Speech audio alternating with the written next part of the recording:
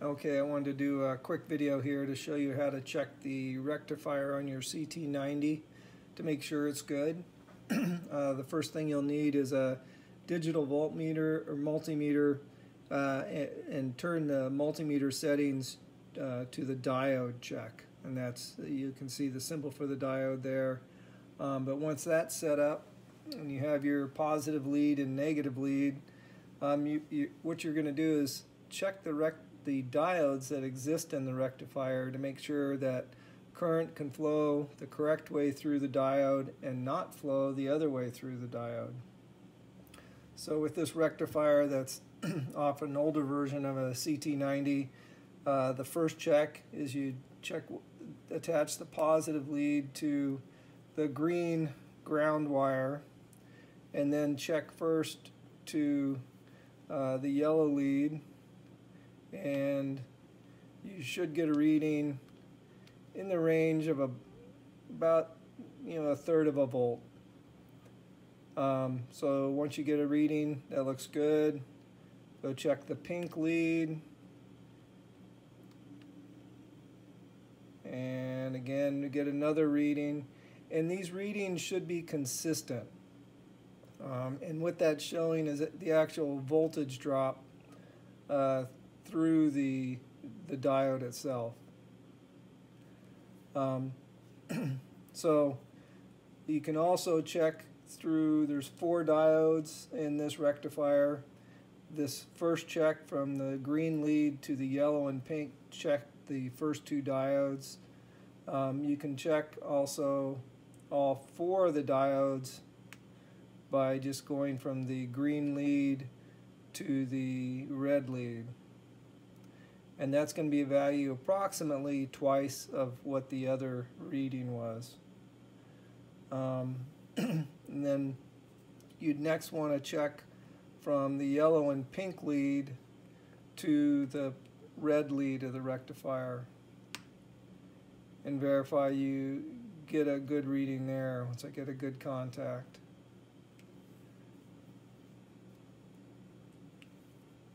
But just clipping it here so I have good contact. You get a, similar reading, and then you'd want to check the pink to the red. And again, that's looking real good. Um, so the other way you want to check is trying to see if current flows the other way through the diodes in the rectifier. And for this check, you put the positive lead on the red lead of the rectifier and then check it against the pink and you'll see that there's no current flow there. And, and then also the yellow lead, again, no current flow.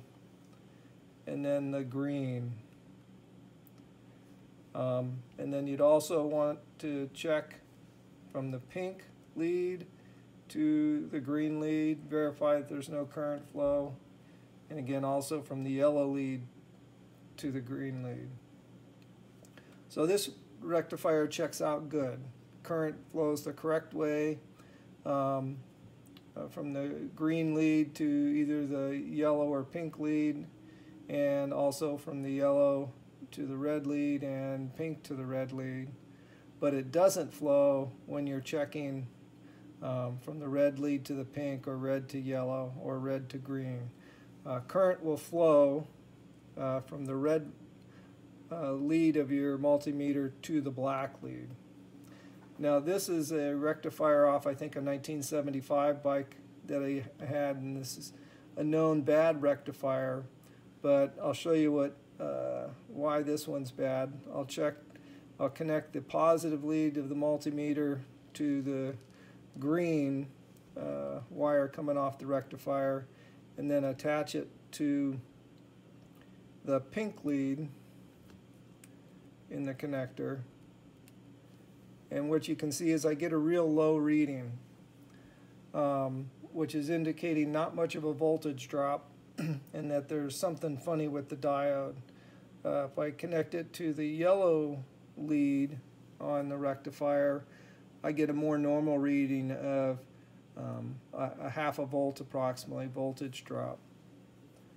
Um, if I check from the pink lead to the positive or the red lead of the rectifier, I'll see that that diode is actually good. I get another uh, half a volt voltage drop.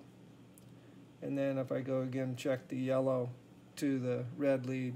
So there's something funny in that one diode that's in between the green lead and the pink lead.